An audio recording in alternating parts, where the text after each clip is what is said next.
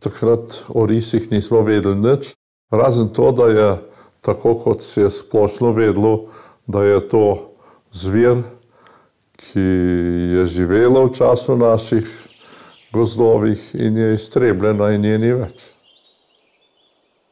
Karl Weber iz Švice je bil takrat na lovu na Srnaka in Max ga je tudi peljal v Pragost.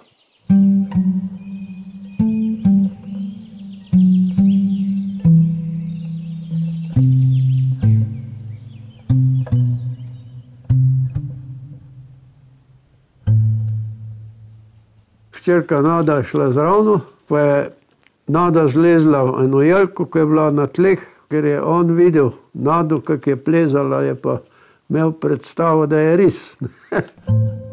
pa je rekel, verjetno bi živel pri vas tudi res. Če ste pripravljeni ga naseliti, vam jaz financiram.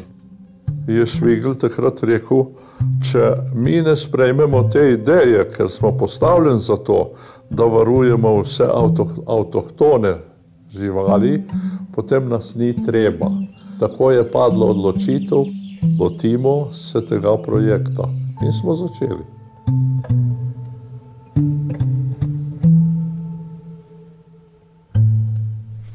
Tak, ironija je ta, že nielen, že som chránil to rysa, už potom som sa hneval na každého polovníka, ktorý rysa zastrelil, alebo takto, ale telom a dušou som aj polovník.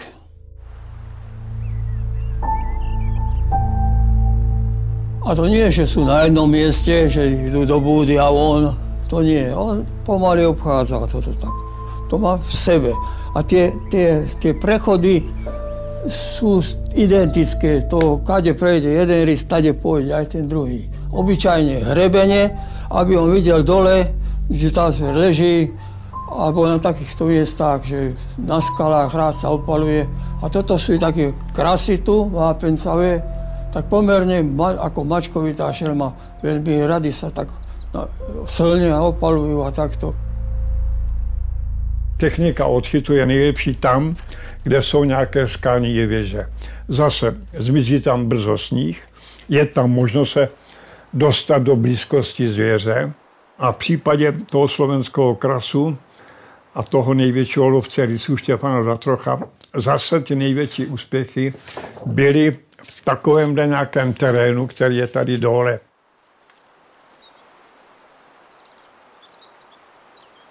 Dva roky kým, kým sa niečo podarilo, lebo dával som tam ryby, povedzme aj zajaca živého, aj vtáčky a na to ne, nešiel. A už potom som nedával nič, som len chodníky vyčistil.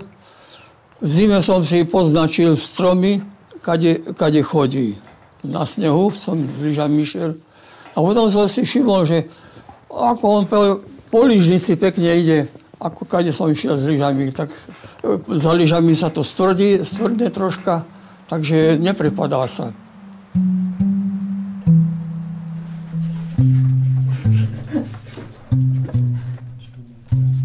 No a na tomto princípe vlastne všetko sa založilo. Na tom chodníku a na lyžnici.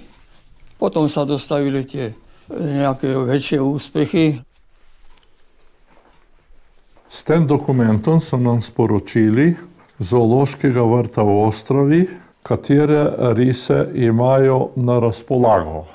Prva sta bila Vlašek in Štefa, potem druga Vesna in Vitek, Arpat in Reška.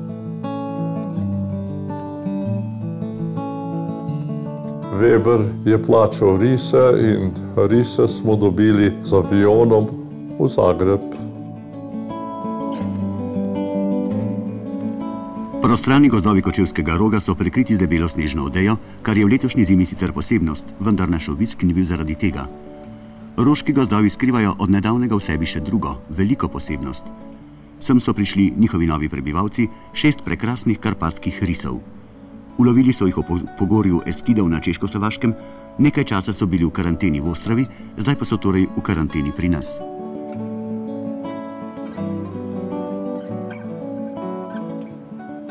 taki precej vizionarski potezi leta 1973 so se takrat lovci in delavci Zavoda za gozdove odločili rise k nam ponovno naseliti po 60-70 letih odsotnosti te vrste iz naših gozdov. Brez tega danes risa ne bi imeli. To je bila tista ključna poteza, ki je pravzaprav ustvarila populacijo risa, ki jo danes imamo kot en, pomembno, kot en pomemben del naše, naše narave. Jaz sem imel pa nalogo pripraviti uh, oboro za rise. Ne? Ta obora je bila od začetka, mora bi, je morala biti vsa zakrita z vejami, da so bili risi izolirani. To, evo, to je že prvi ris tudi v, v Graji.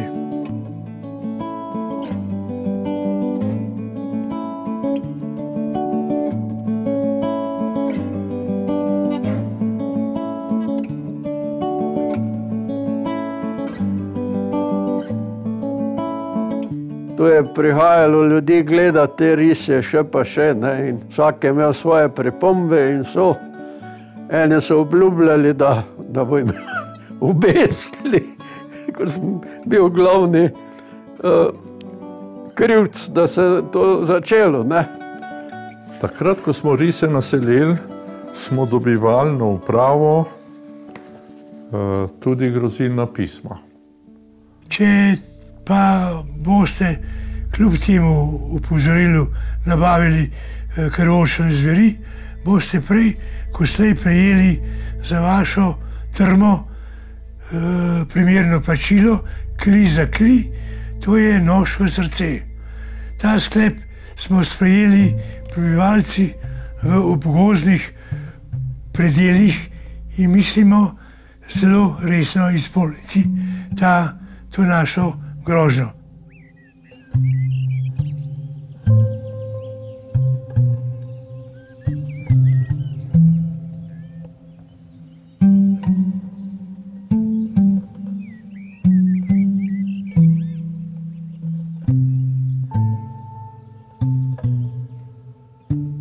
Tak já jsem po zhruba 90. měl jsem možnost mít tak řečeno 99 divokých rysů v ruce a zjistil jsem následující věc. Každý z těch rysů měl naprosto nepředvydatelné chování. Naprosto bojácných zvířat, která při spatření člověka močila a kálila hruzou. O velmi agresivní jedince, takže se musel přistupovat naprosto ke každému zvířeti jinak.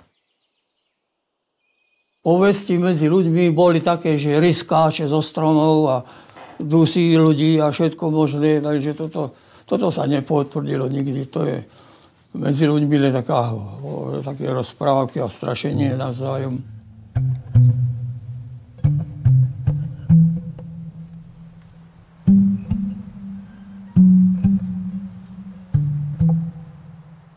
Seveda smo bili skupaj sedeli tam na travniku, ko sta debatirala Švigli pa Maček.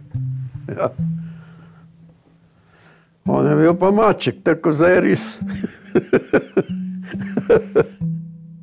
Tudi Maček je bil proti naselitvi, če bi šli njega uh, vprašati, rise ne bi nikoli naselili.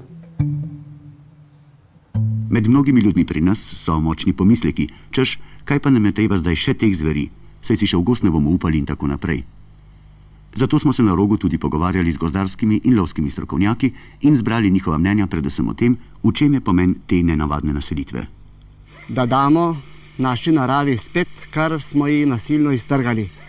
Drugo pa smo prepričani, da bo ta naselitev pozitivno vplivala tudi na populacijo naše divjadi, predvsem srnjadi. Prav zato smo navdušeni nad tem in mislimo, da bo prav res prinesel tisto, kar človek, lovec, s puško ne more. Ris, mislim, je nočen divjad in obhodi precejšnje eh, površine, tako da je računati s tem, da ne bo samo tu, temveč da bo le z leti, upemo, eh, bil vsaj tam, kjer je bil pred leti.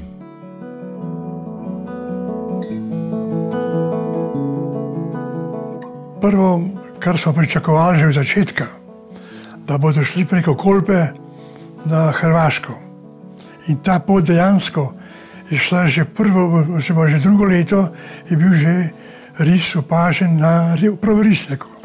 v nacionalnem parku Ristjak. Šuma je bila svježe posjećena, veliki panjevi i na jednom panju je sjedila jedna životinja i puknu i dođu tamo, joj, veli, sine, pa mi smo ubili tigra. Tam je pa spremljal rise inženir Frkovič, ki je žal že pokojni. On je bil neverjeten. Vsekaj nisem nikoli videl brez svinčika in beležke. Še kar so se mi dva pogovarjala, je beležil. To je vse njegove delo. Ne? Jako je važno što je moj muž uvijek bio na izvoru događaja. Tako da je on onda mogao te podatke sve napraviti, jer to ne može netko ko ne živi stalno u središtu tih događaja. Mislim da je to vrlo dobar jedan prilog svim materijalima o istraživanju risa dinarske populacije, tako ću reći. No, tu je e, slika e, tega območja risa še v Jugoslaviji, ko je prišel dol do Bosne. Evo, tu je pri nas do Trente gor, ne? pa do Sane, do Bosne dol.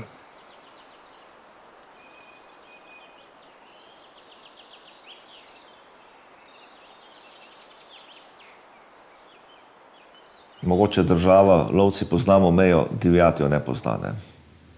Nima tega razumevanja, pozna svoj življenjski prostor, poskuša poiskati najbolj ugodne prostore za življenje.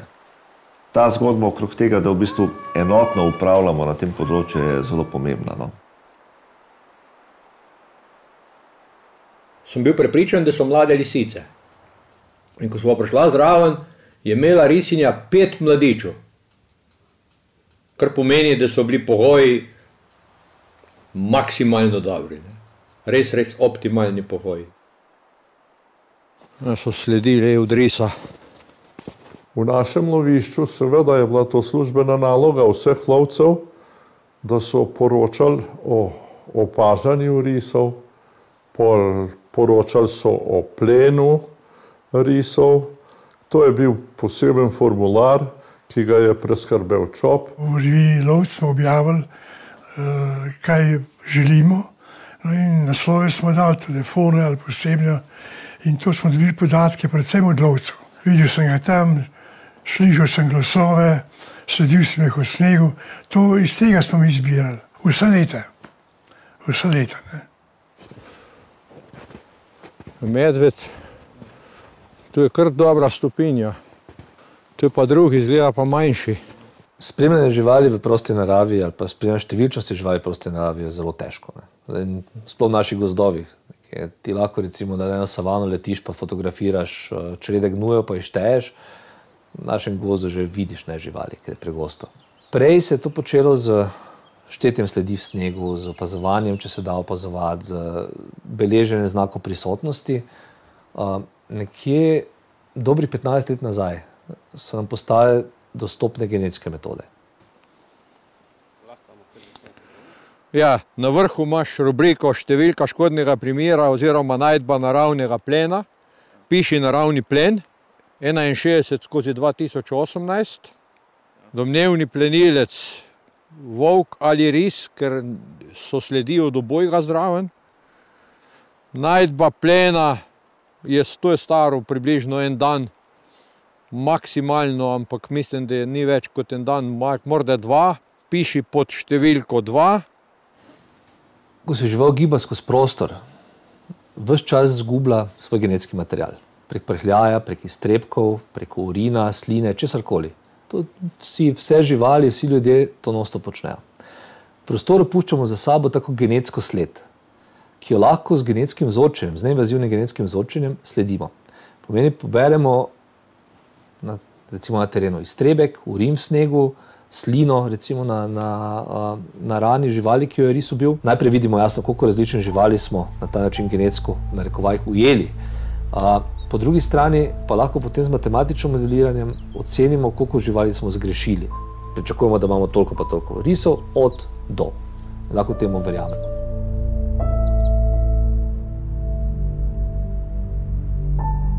Do uzoraka za genetiku dolazimo jako teško. E, risovi su dosta skroviti i jako neprimjetno markiraju teritorij.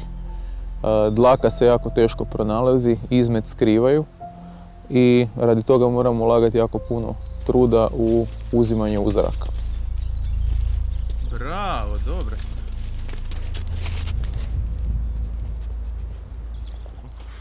Prilikom praćenja risa, bilo praćenja tragova, bilo proučavanja njihovog ponašanja, uočavamo mjesta na kojima oni češće borave. Puteve na kojima se češće kreću. To su često nekakvi prijevoji, e, nekakve planinarske staze, šumske vlake, šumski putevi ili zapravo jedna od najboljih lokacija su markirališta. Kad uočimo znakove prisutnosti risa na takvim mjestima, postavljamo fotozamke, koji put dvije fotozamke da snime risa svaka s jedne strane, ili ako se radi o markiralištu gdje očekujemo da bi se ris mogao nakon što ponjuši markiralište gdje bi se mogao okrenuti i, i pomokriti se na to mjesto, onda je zapravo dovoljna jedna kamera, jer ris će se zapravo samo krenuti.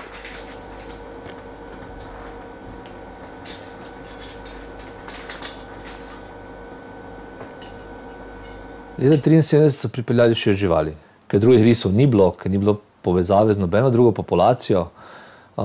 Pravzaprav že zelo malo niso imeli druge izbire, kot da se parijo sorodniki. Z rastjo sokrvja pa začenja padati verjetnost preživetja, pa verjetnost uspešne reprodukcije. Temu pravimo depresija zaradi sokrvja. To razjeda populacijo od znotraj, podobno kot rak. Kasneje, ko se ta stvar nabira, se nabira, bo vedno manj risov preživelo, vedno manj bo imelo uspešno potomce, v končni fazi do točke, ko bo populacija kolabirala in izumrla. Naši risi se bližajo tej točki.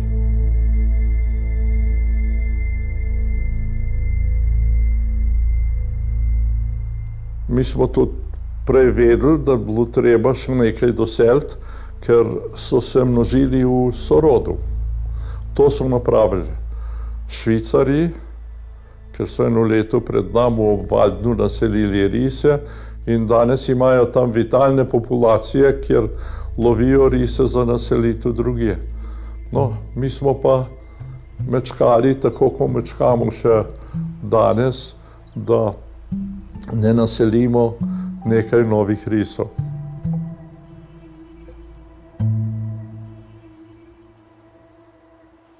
V okviru projekta bomo prve rise pripeljali leta 2019. To doseljevanje bo trajalo pet let. Pripeljano bo 14 efektivnih risov, kar pomeni uh, 14 osebkov, ki se vključijo v populacijo.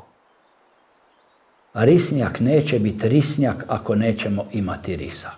Dakle, to je rečeno sve. Mi želimo kao lovci da ga imamo, da ga sačuvamo i za pokoljenja koja dolaze iza nas. Ako nema i tog risa, onda smo i mi toliko kao žitelji ovog područja, ovog podneblja gdje nas ima svaki dan sve manje, onda ni mi ne zavređujemo da tu opstanemo. A čemu zapravo ris? Čemu on služi? Ona pogledala i odgovorila, pa zapravo ničemu, kao i Mozart. Znate, to dosta govori. V gozdu zelo malo pomeni zakonodaja. Pomeni ti osveščenost, pomeni ti pamet, pomeni ti razum. Če sam nisi prišel do spoznanja, kaj je prav, te noben zakon ne bo stavil. V gozdu si sam s puško srečuješ in delaš praktično lahko marsikaj, ker ni v čem drugih vidno.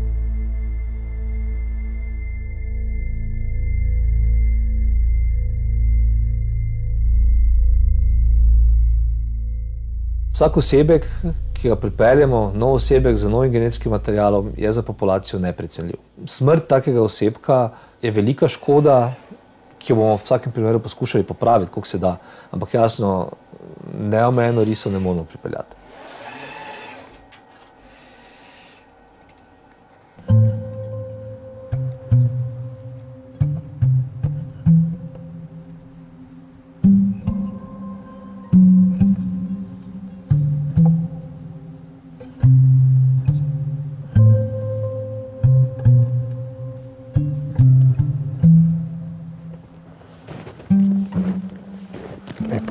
zdaj bo počasi prišli ven smrekc.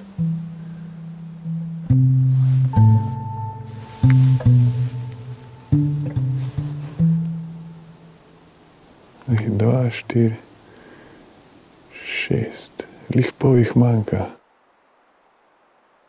Mene osebno, ne, najbolj tudi, tudi gorenske lovce, ne, nasplošno najbolj nas skrbi, kakšen bo vpliv na muflona. Ne.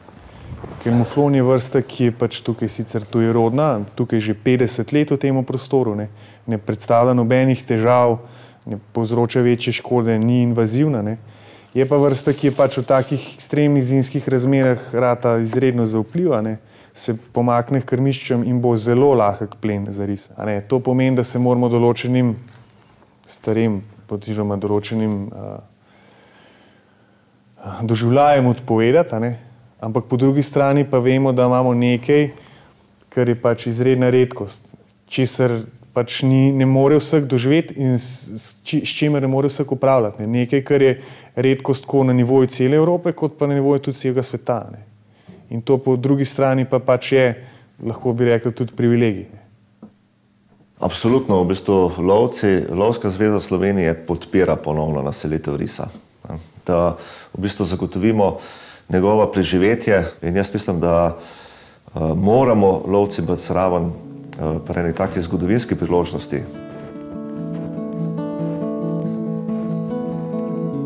Samo, če bo javnost sprejela risa, bo ta ris ostal v naših gozdovih, ker v preteklosti smo uh, risa iztrebili ljudje in ljudje lahko risa obdržimo v naših gozdovih.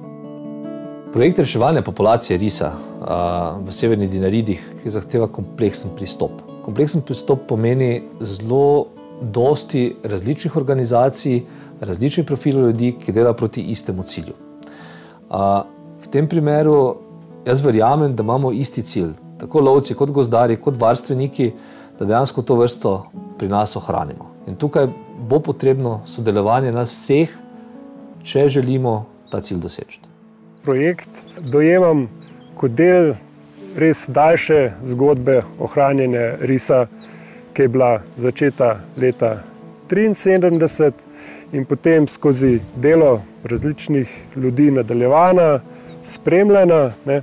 In mi bomo zdaj dodali še svoj, svoj doprinos, se pravi, prinesli dodatne živali z nekim ciljem, da bi imeli čim boljšo ohranjeno naravo z prisotnimi risi v njej. Mislim da je jako značajno da Hrvatska učestvuje u ovom projektu sa ispuštanjem risova. Tako da će hrvatski risovi ići u Sloveniju, slovenski risovi u Hrvatsku, lijepo će se geni miješati, pobrinut ćemo se da, da naša populacija komunicira sa alpskom populacijom i zapravo situacija bi trebala stvarno vrlo pozitivno funkcionirati.